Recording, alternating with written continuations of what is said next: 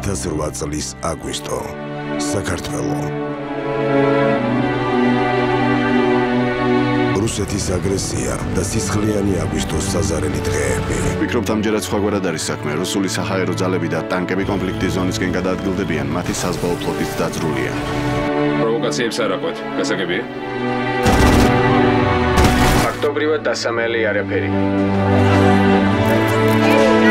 თბილისი კი აცხადებს, რომ მათ ცეცხლი მხოლოდ მას შემდეგ გახსნეს, რაც რუსული ტანკები უკანონოდ შემოიჭრნენ საქართველოს ტერიტორიაზე. ხოლო საკუთარი თავის იმედად დარჩენილი. ქართული არმია რუსული სამხედრო ძალების იერიშებს იგერიებს. ძლიერი და ერთიანი სახელმწიფო. მერტი იყოს ქართველი ხალხის მფარველი. მერტმა დაუწო საქართველო. ქართველი ერის ბრძოლა. სიმართლის და თავისუფლების დასაცავად.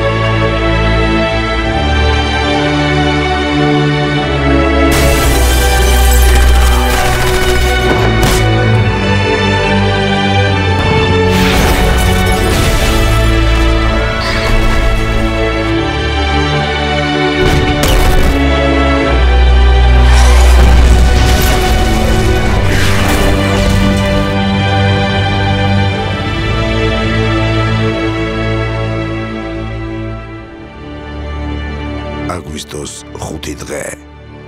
5 ივნისიდან საქართველოს კინოთეატრებში